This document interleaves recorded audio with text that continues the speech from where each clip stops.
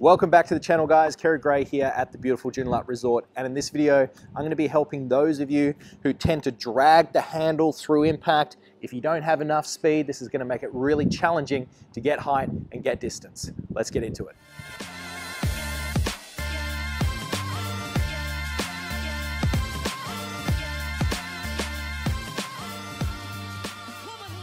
Now in modern golf instruction, there's an obsession with getting shaft lean. Shaft lean being when at the moment of impact, the handle is in front of the club head.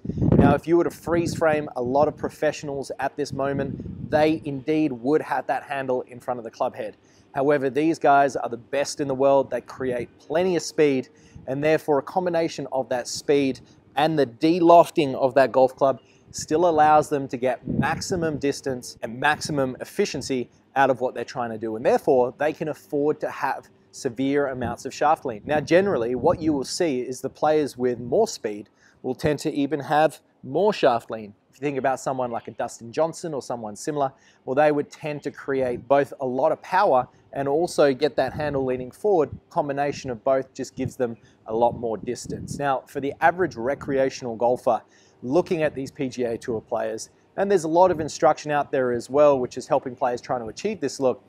A lot of them are trying to rehearse and practice drills where they're excessively trying to get that handle in front of the club head. However, if you do it in the incorrect way and you don't have enough speed, it's going to make it really challenging to get enough height and get enough distance. Now, one of the true fundamentals of golf is speed. And if you don't have quite the amount of speed that a PGA Tour player does, well, you do not need to lean the shaft as forward as a PGA Tour player does. And this is a very important concept to understand. Because when you're just looking at swings on Instagram and YouTube, sometimes we see these beautiful aesthetics of a real strong impact position, and then we go back home and then try and change them. But if our bodies are not the same and we're not as capable to create as much power, well, effectively, that is going to hinder our progress rather than help.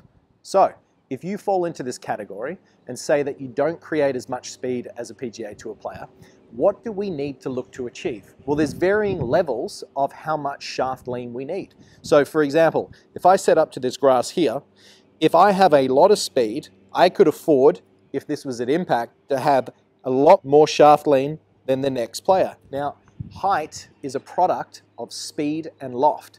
So if we don't have loft and we don't have speed, the ball's not going to get very high. There's a lot less friction up in the air than there is on the ground. So if you're a player with a slower swing speed, we need to increase the height of your golf shots. And having this handle leaning considerably far forward, even though it might look nice, it's not going to give us the results that we're looking. So if you're someone who is in this position and you are leaning that shaft too far forward, you're not getting enough height, and you really feel like you're missing out on some extra distance, you might fall in the category of where you need to get the shaft and the handle a little bit more vertical at impact. And that's totally fine. Now in saying this, there is a large majority of players out there who struggle with the opposite, and that would be a scooping or when the club head is actually passing the handle too much at impact. So if you're a player like this, please, please, please do not practice this exercise. This is for more of those of you who have been told by a PGA professional, or you can video your swing, you have a very keen eye for detail, and you can actually see that the handle is too far forward of the head at impact. And I'm going to give you a little reference for that. Now, if it was too far forward, what you would tend to see would be the handle almost outside that lead hip at the moment of impact. When you see the effect that that's going to have to the loft of the face, well, that's going to severely decrease this loft. So this 7 iron turns into something like a 5 iron and a 4 iron. Now, those clubs themselves don't get much height at all. So making sure that you're accommodating for the club with the amount of shaft lean is going to give you the optimal trajectory and distance that you're looking for. So if you're a slower swing speed golfer, what I would tend to look for is the handle just slightly ahead of the club head.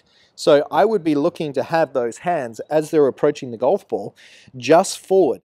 And if you had a little reference point of the end of the grip and the handle, I would be looking, if this is vertical, just leaning slightly further forward of that. So as your body is turning and rotating in space, we would be looking to have the handle just about on the inside of the lead leg as that club's approaching the ball. Now, if you look at the effect on loft that that would have, as the golf club's coming in, if my shaft was leaning too far forward, it would look like this.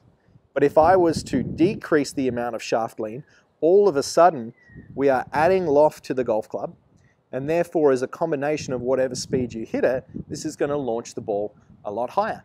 So if you are struggling with that distance, getting this shaft a little bit more vertical can certainly help you get a few extra yards. Now, one of the main reasons that players get into this situation is mainly because they've been trying to hit down on the golf ball a lot or they've been told to get the handle in front. And usually it's a manufactured position that they've achieved over a period of time with maybe a poor understanding or poor practice. But to get out of it, it's pretty simple. There's two main drills I want you to practice. The first one is hitting shots with your feet together. Now, with your feet together, effectively what this encourages you to do is line the handle and the club head back up at impact.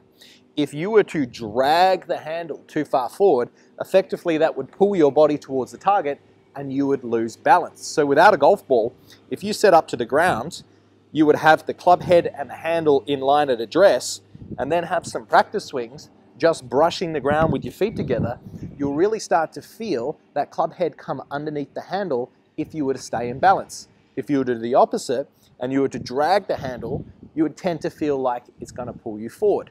Now, transitioning into full shots out of the feet together drill, one of my favorite exercises to do is get a tee and place it underneath your lead arm. Now, in this position here, if you were tending to drag the handle too much, that tee would tend to fall out because your front arm would separate from your torso. As you can see, the handle's too far ahead of the head of the golf club. So if I get that tee, put it back underneath my lead arm, and then I make some practice swings, feeling like that tee is staying in place underneath that armpit, you can see on the way through that my arms are refolding as they move around my body. And this is a great way of also, as this golf club's coming back to the ball, of lining that handle and that head up. Now, this is certainly not a drill for everyone. Like I said, if you're a scooper, you almost need to practice or rehearse the opposite. But I got some videos that you can watch that are definitely going to help if you're struggling with that specific error.